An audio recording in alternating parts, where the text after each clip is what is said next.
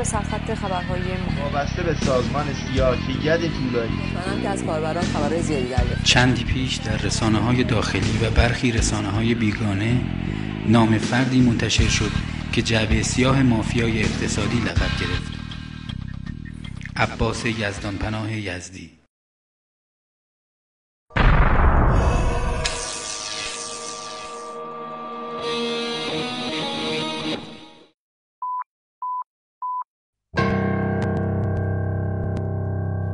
عباس یزدان پناه یزدی فرزند افراسیاب متولد 1348 در سیرجان است او در خانواده متوسط و در سایه پدری لاوبالی و معتاد زندگی خود را سپری می کند تا اینکه در دوران تحصیل خود در دبیرستان نیکان با آقازاده آشنا می شود که مسیر زندگیش را به سمت آیندهی مبهم و نامعلوم دگرگون می سازد.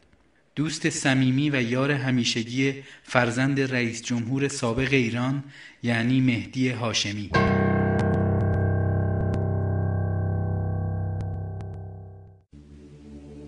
عباس یزدی حلقه مفقوده بسیاری از راندهای اقتصادی و مفاسد کلان نفتی به شمار می آید که در سایه مهدی هاشمی به یک عروسک خیم شبازی بدل می شود که سر از ناکجا آباد سرویس های جاسوسی و اطلاعاتی دشمنان نظام بیرون می آورد.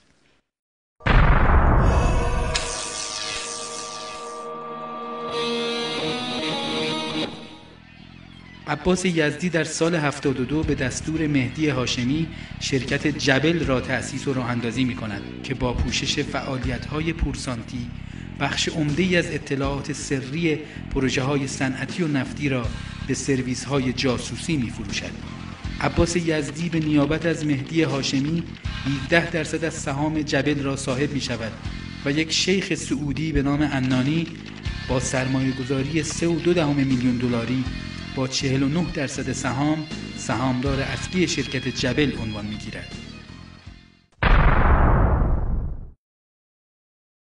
در سال 1372 عباس یزدی توسط نیروهای امنیتی جمهوری اسلامی دستگیر و پس از محاکمه به جرم اقدام علیه امنیت کشور از طریق جاسوسی روانه زندان می شود. اتهامات دیگری که عباس یزدی به واسطه آنها مجرم شناخته شده عبارت بودند از روابط نامشروع با زنان اجنبیه، شرب خمر، پرداخت رشوه و برخی جرایم دیگر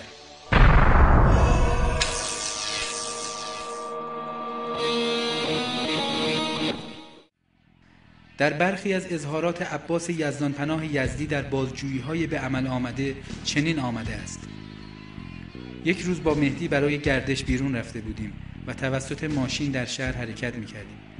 برای من شهر داد که در مسافرتی که داشته با یک شیخ عرب سعودی آشنا شده و آنها با هم یک شرکت تشکیل دادند که اصل آن در خارج است و در ایران هم دفتر دارد که نام شرکت جبل است. چون کارها باید در داخل ایران انجام شود وجود شرکت جبل ضروری بود. مهدی هاشمی به من گفت که به جای او سهامدار و مدیرعامل هستم. مهدی نمی‌خواست خودش حضور داشته باشد چون این شرکت قرار بود کارهای پورسانتی بکند و احتیاج بود که اعمال نظرهایی در بعضی دستگاه ها بشود. پس طبیعی بود که خود مهدی نمی‌توانست در آن باشد. علت شراکت مهدی هاشمی در شرکت جبل با یک شیخ سعودی در پرده از ابهام است.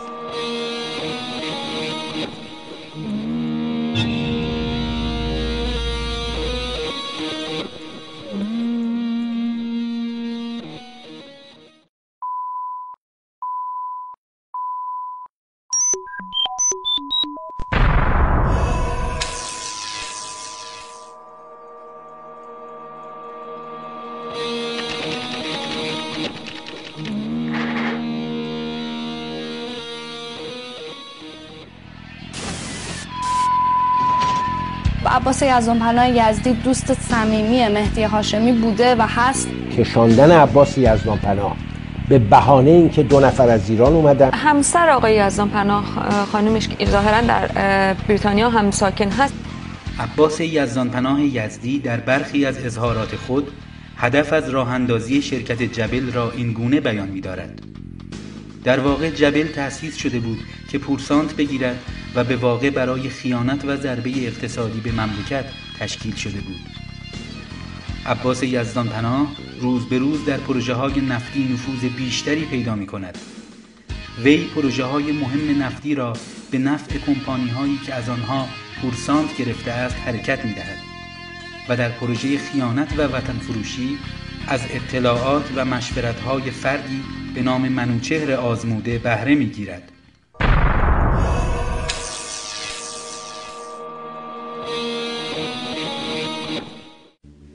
منوچهر آزموده جاسوسی کهنکار است که در قبل و بعد از انقلاب در خدمت سرویس های جاسوسی بوده است. نامبرده پیش از انقلاب معاون وزیر نفت رژیم شاهنشاهی بوده و بعد از انقلاب جیرخار سرویس جاسوسی انگلستان می شود عباس یزدی در اظهاراتش به نکات قابل تعملی در مورد طرق جاسوسی پرداخته و پوشش تمام این فعالیت ها را شرکت تأسیس شده در سوئیس به نام جبل به واسطه اشخاصی به نامهای صداقت، مصطفی داوودیزاده پسر عمه مهدی هاشمی و شیخ حسن عنانی از شیوخ سعودی برمی شمارد. وی از آن می دارد که عنوان شرکت صادرات و واردات بود ولی هیچ گونه صادرات و وارداتی که از زمره آسانترین کارهاست انجام نپذیرفت.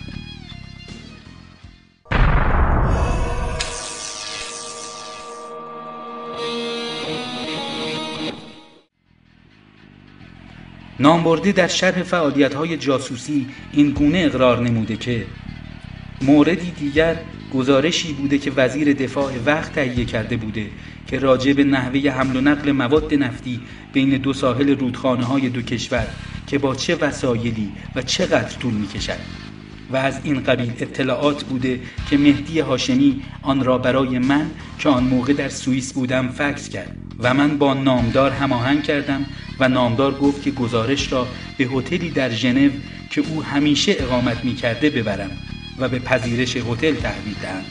وی در خصوص اطلاعاتی که به امیر نامدار داده است اظهار داشته که در دو مورد اطلاعات به امیر نامدار داده بودم. مورد اول گزارشی بوده که حسین پروین آن را تهیه کرده بود و طبقه بندی به کلی سری داشت و آن را از مهدی هاشمی گرفته بودم. موضوع گزارش این بود که حسین پروین در مسافرتش به عراق قراردادی را با آنها امضا کرده مبنی بر خرید 5 میلیون تن مواد نفتی از قبیل گازوئیل، بنزین و مازوت و این اقلام را زیر قیمتهای بین المللی قرارداد بسته بود و در این حال متحد شده بود به ازای قیمت این کالاها بعضی اجناس ضروری مثل شکر، برنج و گندم و حتی چند دستگاه اتوبوس به عراقی ها تحویل بدهد. پروین در گزارشش آورده بود. این قرارداد متضمن سودی است حدوداً 480 میلیون دلار برای ایران. من این گزارش را از مهدی گرفتم و به امیر نامدار دادم. و گزارش دیگر گزارشی بود که وزیر دفاع تهیه کرده بود که این مقدار کالا را چگونه بین سواحل دو کشور باید هم کرد.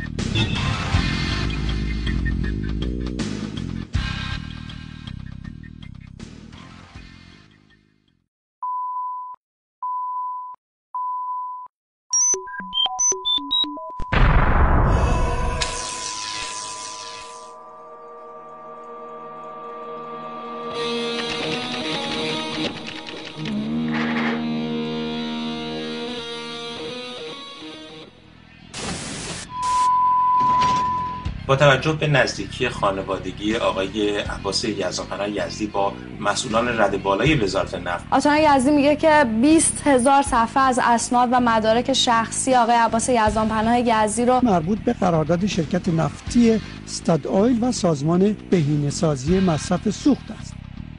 دامنه روابط عباس یزدانپناه تنها به پروژه نفتی محدود نمیماند و عباس از طریق مهدی هاشمی که در آن زمان در گروه تحقیق و بازرسی ویژه بود به قراردادها و مناقصه های کلان وزارتخانه ها و نهادهای دولتی ورود پیدا می کند و مفاسد بزرگی را رقم می زند.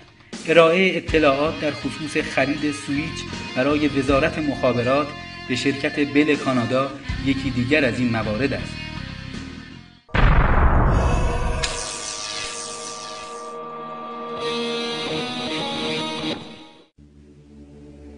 عباس یزدی اطلاعات مناقصه خرید 6 میلیون سویچ را از مهدی می‌گیرد و در اختیار نماینده بل کانادا در خاور میانه یعنی آقای تیر استیونز می‌گذارد. اطلاعات بعد از باز شدن پاکت های مناقصه بود و نشان می‌داد که شرکت بل در رتبه سوم قرار دارد. عباس یزدی به شرکت بل پیشنهاد می دهد که برای اینکه در وضعیت بهتری در مناقصه قرار بگیرند پیشنهاد بدهند که مقداری از سویچ ها را در داخل ایران خواهند ساخت مهدی هاشمی به کانادا سفر می کند و درباره مسائل فنی با شرکت کانادایی به گفتگو می نشیند و مصطفی داوودی زاده هم درباره مبلغ پورسانت با آنها مذاکره می کند.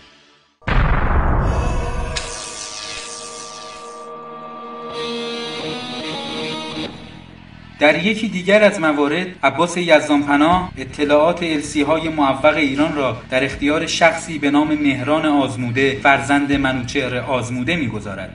وی در اظهاراتش چنین بیان می کند که من به آزموده یک فکس زدم که با پیشنهاد شرکت شل موافق است. اگر می توانی اقدام کنی برای شل انجام بده. پیرو توافقاتی که با آقای هندوجا کرده بودم مقرر شد که کار را با مهران آزموده انجام دهیم. در سوئیس تعدادی از اطلاعات را جمع آوری کرده بودم و روی کاغذ بود که به مهران دادم. در آن سفر مهدی هم همراه ما بود. اطلاعات من ناقص بود و بعدا مهدی یک دیسکت به من داد که راجع به السی ها بود و توسط بازرسی ویژه تهیه شده بود که تقریبا چیز کاملی بود. یعنی اینکه کلیه اطلاعات شرکت های دارنده السی بانک ایرانی بانک خارجی و مبلغ السی داد و گفت من این دیسکت را در سوئیس به آزموده دادم که به مهران بدهد و مهران روی آن کار کند و ما با مراجعه به شرکت هایی که السی ایران را دارند بتوانیم السی های آنها را بخریم و به عنوان حق مشاوره و پورسان می توانیم کار کنیم که پرداخت های شما سریعتر انجام شود و چیزی از آنها بگیریم. دفترچه هم که مهدی به من داده بود شامل دو جزوه زخیم بود. من آنها را باز هم نکردم. مهدی به من گفت که آنها را در یک صندوق امن در خارج نگه دارم. اما من که صندوق امن نداشتم آنها را به آزموده دادم.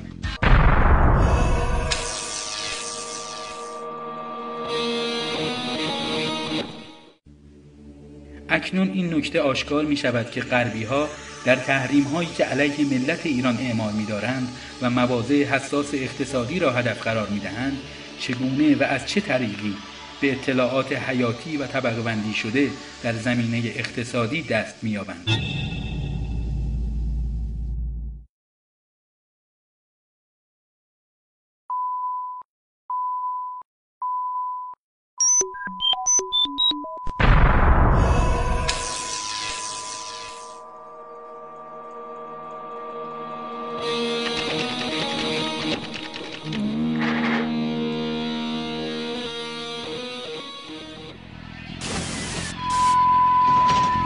آقای پناه از دوستان دوران کودکی مهدی هاشمی پسر اکبر هاشمی رفسنجانی بوده و شریک تجاری او بوده. این بربنده اساید اول رو هم آقای هاشمی آذر 89 توضیح داد. اما یک نکته که مبهمتر می‌کنه پرونده آقای یزدان پناه یزدی رو این هست که یکی از اون سه نفری که به تازگی دستگیر شدن به اتهام اینکه دست داشتن در مشارکت کردن در واقع در آدم روبایی در پرونده آقای یزدان پناه یزدی یکی از اینها که مرتبط بوده به وزارت اطلاعات جمهوری اسلامی جان خودش رو از دست داد عباس یزدانپناه با ارسال اطلاعاتی درباره پارس جنوبی به شرکت ال آلمان به واسطه فردی به نام ساداتیان و با نظارت و دخالت مستقیم مهدی هاشمی مبلغ ده میلیون دلار رشوه می‌گیرد.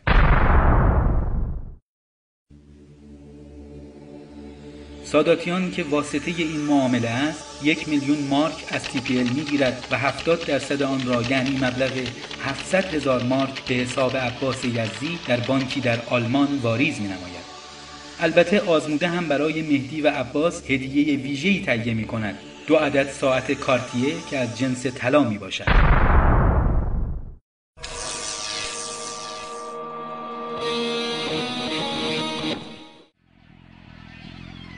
جعبه سیاه مافیای اقتصادی و مفاسد مهدی هاشمی یعنی عباس یزدی در سال 74 به بهانه مرخصی از زندان خارج می شود و توسط مهدی هاشمی با برنامه ریزی قبلی از طریق مرز کردستان از ایران می گریزد. عباس یزدی به انگلیس می رود و به واسطه خوشخدمتی هایش به سرویس های جاسوسی طبعه بریتانیا می شود. در سال 92 و در آستانه تشکیل دادگاه لاهه در خصوص پرونده کرسنت عباس یزدانپناه با برخی از مسئولین جمهوری اسلامی ایران ارتباط می‌گیرد و در مکاتباتش آمادگی خود را برای شهادت مبنی بر وقوع فساد در پرونده کرسن و نقش مهدی هاشمی در عکس پورسان در دادگاه لاهه اعلام میدارد شهادتی که می توانست در حکم صادره علیه جمهوری اسلامی مؤثر باشد. تمامی اقدامات لازم صورت میپذیرد که عباس یزدانپناه به کشور امارات بیاید و در آنجا از طریق ویدیو کنفرانس در دادگاه لاهه علیه مهدی هاشمی افشاگری کند تا اینکه در تاریخ چهار تیر 92 عباس یزدانپناه یزدی جعبه سیاه مافیای مهدی هاشمی به قتل می‌رسد و جسدش به آبهای فجیره امارات انداخته می شود.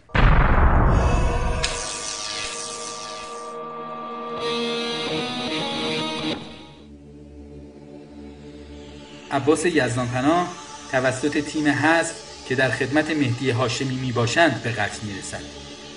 رسانه ها می کوشند تا منکر کشته شدن عباس یزدانپناه شوند و صحبت از آدم روایی به میان می آورند. ابهام در مورد سرنوشت آقای یزدانپناه خیلی خیلی زیاد هست هنوز هیچ مقام رسمی نه در دبی که این آقای یزدانپناه اونجا ناپدید شده مقامات دبی نه مقامات ایران نه مقامات بریتانیا هیچ کنشون اظهار نظر قطعی نکردن در مورد سرنوشت او یک مقام عالی رتبه وزارت کشور امارات قتل عباس یزدانپناه را تکذیب می کند.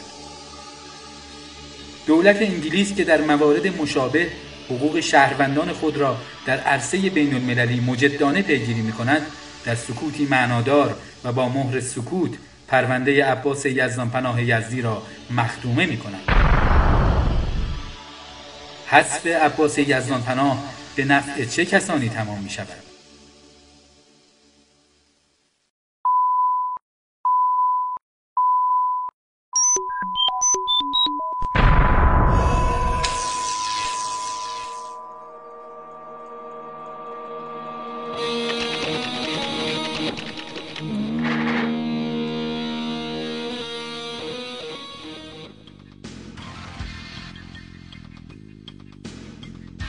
در نیمه دوم سال 2003 در اداره مبارزه با فساد نروژ ای مفتوح کردید که فساد مالی یکی از شرکت‌های بزرگ نفتی را مورد بررسی قرار می‌داد.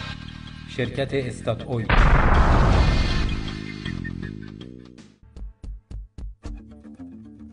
شرکت استات اویل در تاریخ 28 جوان 2004 به اتهام اعمال نفوذ نامشروع در یک قرارداد نفتی محکوم به مجازات هایی گردید بعد از آن در سال 2006 بنابر تحقیقات صورت گرفته توسط دادگستری و بورس اوراق بهادار امریکا استات اویل به نقض قوانین مربوط به فساد کاری شرکت های خارجی و ممنوعیت پرداخت رشوه محکوم شناخته شد.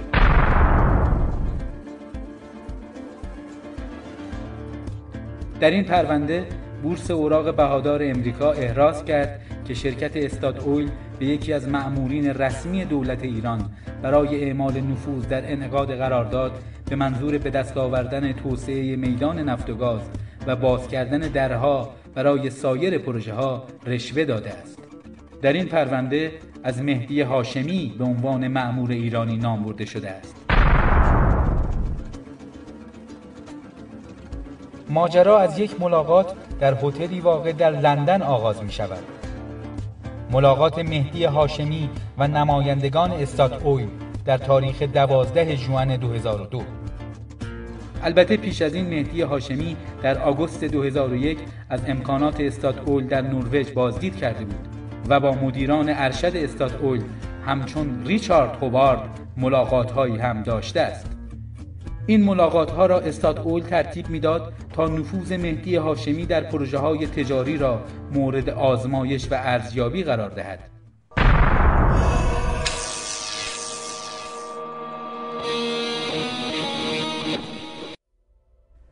در تاریخ 24 می 2002 ریچارد هوبارد در یک پیام الکترونیکی به مهدی هاشمی موارد خواسته های استاد اویل را به این شهر اعلام می دارد.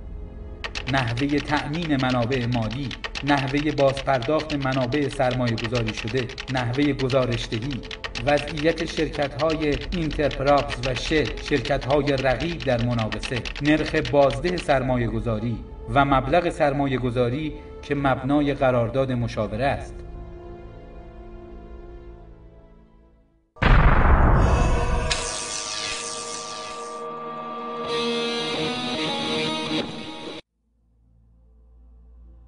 استاد اول با مهدی هاشمی موافقت می کند که از طریق یک توافقنامه مشاوره با یک شرکت واسطه به نام شخص سالسی مقیم در لندن می باشد مبالغ را پرداخت نماید. مرحله اول پرداخت مبلغ 200 هزار دلار 5 میلیون دلار و متعاقبا 10 میلیون دلار. تعهد مالی استاد اول به مهدی هاشمی رقم می‌خورد. توافق شومی که نظام اقتصادی ایران را که بر پایه تک محصولی استوار است در خطر تزلزل قرار می دهد و منافع فردی آقازاده حریس مایه دستاندازی بیگانگان به منابع حیاتی کشور می گردد.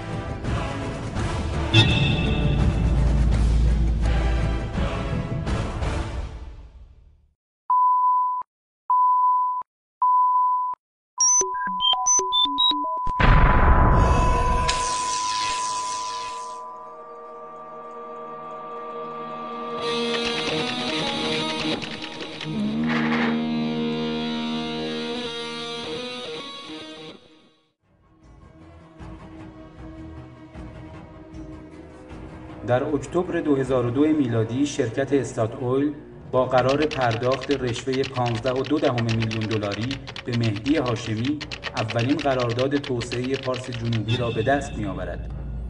در آن زمان مهدی هاشمی ریاست سازمان بهینه‌سازی مصرف سوخت را عهدهدار بود.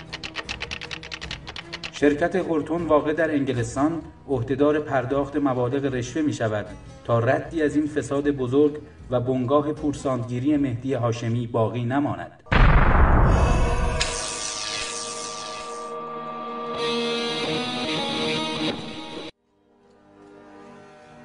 پولها در دو مرحله به حساب بانکی در سوئیس به نام یک شرکت ثبت شده در جزایر بریتیش ویرژین به نام دیلینجر که توسط عباس یزدان پناه کنترل می‌شد واریز می شود. براهام مدیر مالی شرکت هورتون در 9 دسامبر 2003 توسط اداره مبارزه جدی با کلاهبرداری انگلیس مورد بازجویی قرار می‌گیرد و از اقدامات مهدی هاشمی در خصوص پولشویی از طریق شرکت هورتون پرده برمیدارد. شایان ذکر است که مهدی هاشمی و عباس یزدانپناه در تاریخ 19 جولای 1998 شرکت دلینجر را در بریتیش ویرژین تأسیس می نماید و در تاریخ 13 فوریه 1998 به نام این شرکت حساب بانکی در یو بی اس ژنو افتتاح می شود و صاحب امضا عباس یزدان پناه یزدی معرفی می گردد. در تاریخ 18 فوریه 98 نیز حساب بانکی در کردیت سوئیس افتتاح می گردد که متعاقب توافقنامه استاد اوی مبلغ 52 میلیون دلار در دو مرحله به حساب شماره 612 562 دو صفر کردیت سوئیس واقع در ژنو واریز می‌گردد.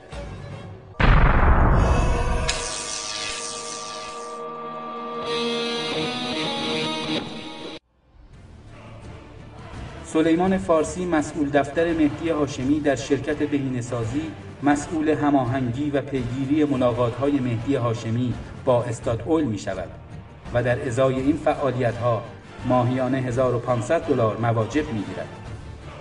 وی در اظهاراتش چنین عنوان می دارد که مهدی هاشمی تمام اطلاعات محرمانه و فنی فازهای 6, 7 و 8 پارس جنوبی را با ارائه نمودار از قبیل تعداد مدیران و پرسنل موجود به انزمام نقشه ساخت هزینه پروژه و قیمت تمام شده مساله پروژه را در اختیار استاد اول قرار داد.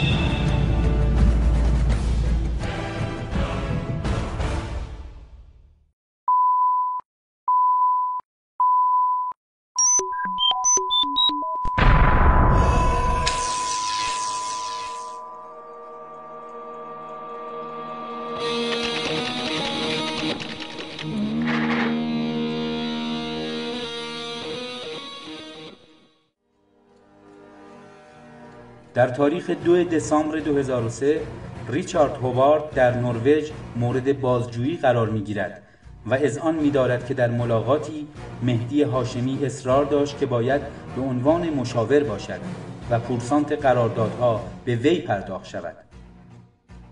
در تاریخ 11 اکتبر 2001 در سالن هتل گراند استکهلم ملاقاتی انجام می شود که در آن مبلغ دستمزد مشاوره‌ای و پورسانت مهدی هاشمی مورد بررسی قرار می گیرد.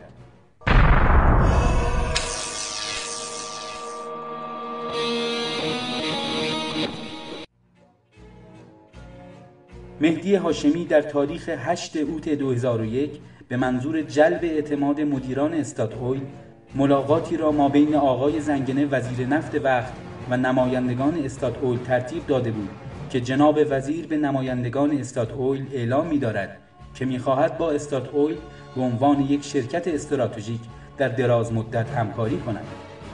در تاریخ 15 اکتبر 2001 طی مراسمی دفتر استات اویل در تهران افتتاح می شود و مهدی هاشمی در این مراسم شرکت می کند.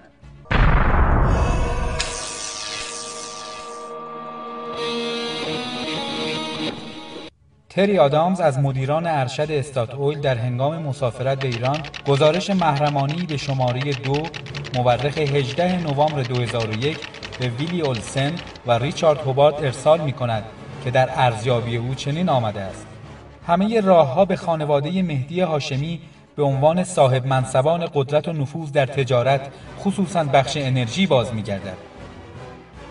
مهدی هاشمی به عنوان پیغام رسان و هم به عنوان بازیگر مستقل می باشد. شما چه دوست داشته باشید چه نداشته باشید با این گروه گره خورده اید.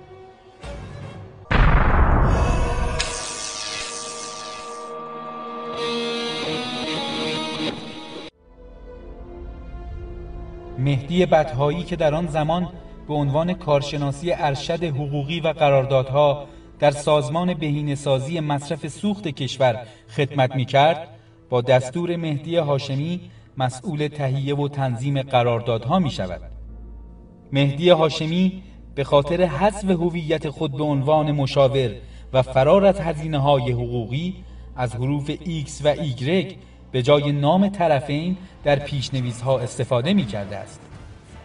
پیشنویس های قراردادهای مشاوره‌ای در تمام مراحل اعم از تنظیم قرارداد و موارد اصلاحی با ایمیل های مهدی هاشمی مبادله می شده است.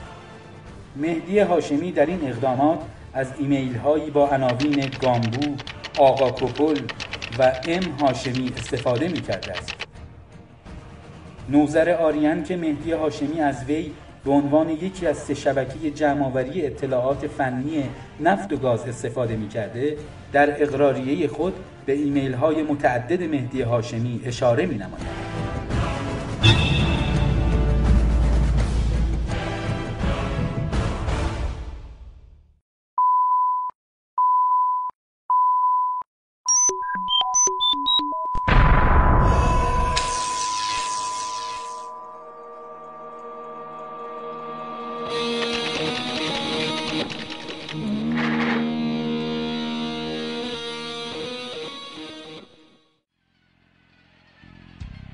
نوزر آریان در معرفی اعضای شبکه آقای مهدی هاشمی که در آن مقطع در پروژه استات اول درگیر بودند چنین اعتراف نموده است. عباس یزدانپناه یزدی در خارج کشور هماهنگی با شرکت استات اول را به نمایندگی از مهدی هاشمی انجام می‌داد.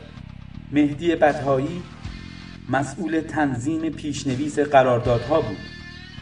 سید مهدی حسینی هماهنگی های شرکت نفت در داخل ایران را انجام می‌داد و این جانب نیز اطلاعات فنی را به واسطه مهندس اشکوری که قبلا در اداره اکتشافات شرکت ملی نفت ایران اشتغال داشت شامل اطلاعات در مورد مخازن لایه های خاک کف دریا و اطلاعات مربوط به دریا و سایر اطلاعات فنی را جمع آوری می کردم و به آقای مهدی هاشمی منتقل می نمودم تا به طرف خارجی ارائه دهد.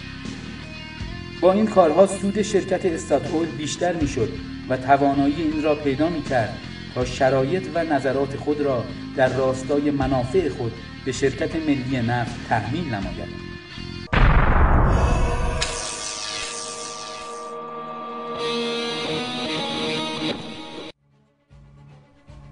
نوزر آریان در بخش دیگری از اظهارات خود چنین عنوان می دارد از موارد عجیبتر این که مهدی هاشمی در شرکت برای مدت طولانی به پشت بام می‌رفت و از آنجا با تلفن ماهواره‌ای که در یک کیف قرار داشت و آن را همه جا با خود هم می کرد با مخاطبین خود صحبت می نمود.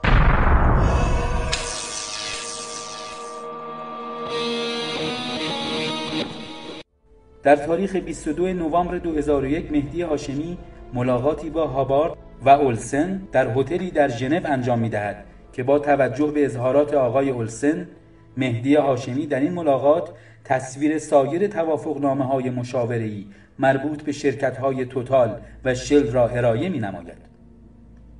در تاریخ 11 دسامبر 2001 مهدی هاشمی فکسی به ریچارد هوبارد با این شهر ارسال می کند.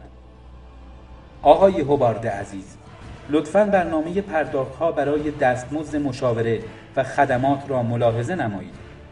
همچنین سپاسگزار خواهیم بود نظرات خود را در مورد مطلب سوم قرار داد یعنی فعالیت های نیکوکاری و احسان در قالب پرداخت بورسیه های تحصیلی سالیانه اعلام داریم انتظار دارم این قرارداد را در ملاقات آتی امضا نمایید در ضمن پاسخ خود را به شماره فکس شماره 20500 86 32 8100 ارسال نمایید. ارادتمند شما مستر دوستتان در تهران.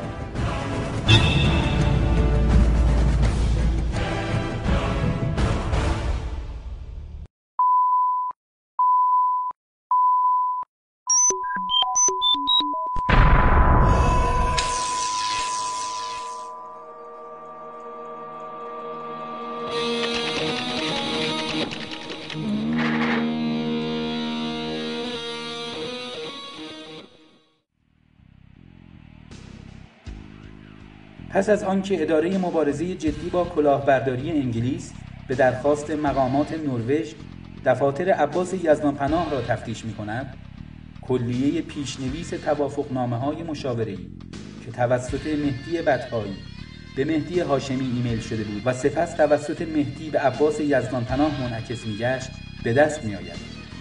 این پیشنویس ها فاقد نام طرفین بوده و با عناوین فازهای 6, 7 و 8 پارس جنوبی از طریق ایمیل آقا کپل بین مهدی هاشمی، مهدی بطهایی، عباس یزدی و دیوید بری که وکیلی در لندن بود مبادله می شدن. نکته قابل توجه این که یکی از این ایمیل ها که به آدرس آقا کپل ارسال شده است توافقنامه با توتال مربوط به فازهای دو و سه پارس جنوبی است که دستمزد مشاوره را حداقل 70 میلیون دلار تعیین کرده است.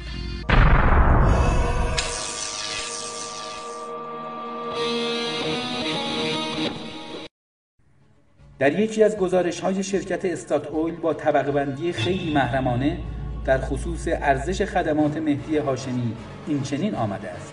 مشاور کمک های مهمی را در فهمیدن فرصت های تجاری در ایران و چالش های پیش روی ما نموده است. او قادر خواهد بود اطلاعات شخصی خود از توافقنامه های نفتی زیادی را به ما منتقل نماید و همچنین در کمک به سایر شرکت های بزرگ نفتی در برنده شدن در مناقصات تجاری در ایران دخیل بوده است.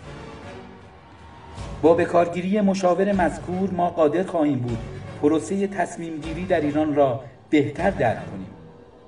پیشنهاد ما پرداخت مبلغ 15.2 میلیون دلار به مشاور جهت خدماتی که به استاد اویل خواهد داد و مالکیت تمام خدمات را یقین خواهیم نمود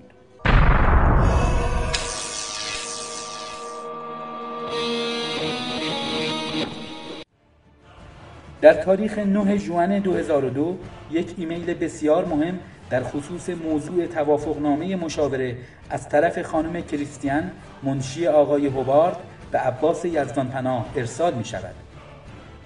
سلام عباس پیغامت را دریافت کردم. به من گفته شد که توافقنامه روز سهشنبه به تو فرستاده شده.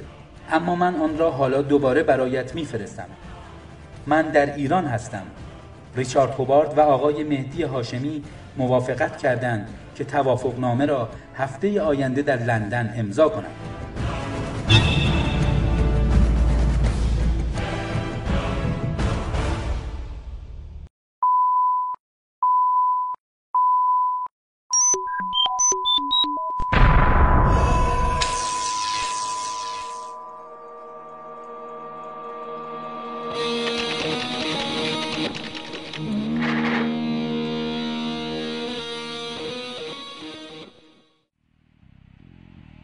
در اکتبر 2002 قرارداد مشاوره‌ای از طریق مهدی هاشمی و در جوان همان سال قرارداد رسمی با استاد اویل منعقد می شود.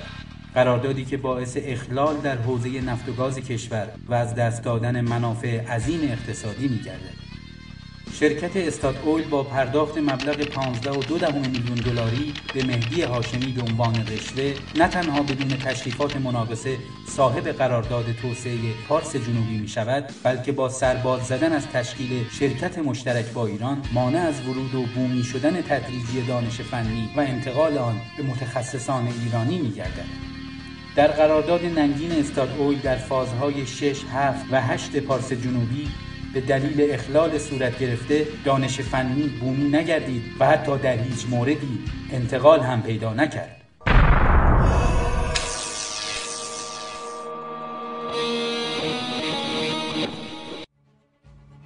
شرکت استات اویل با گرفتن امتیاز مدیریت دریا طبق قرارداد منعقد شده بیش از یک میلیارد و 600 میلیون دلار سود آن هم تنها در بخش مدیریت دریا صاحب می شود. نکته قابل تعمل این که مبلغ ذکر شده که از طریق جمهوری اسلامی ایران به استاد اول پرداخت شده است در یک حساب خارجی واریز می گردد و چون شرکت مشترک تشکیل نشده هیچ گونه نظارتی هم از سوی ایران بر این پرداخت از بیت المال وجود نداشته است. و چه بسا شرکت استاد اول از مسیر همین وجود امور سرمایه گذاری خود را در فازهای 6, 7 و 8 پارس جنوبی به انجام می رسانید.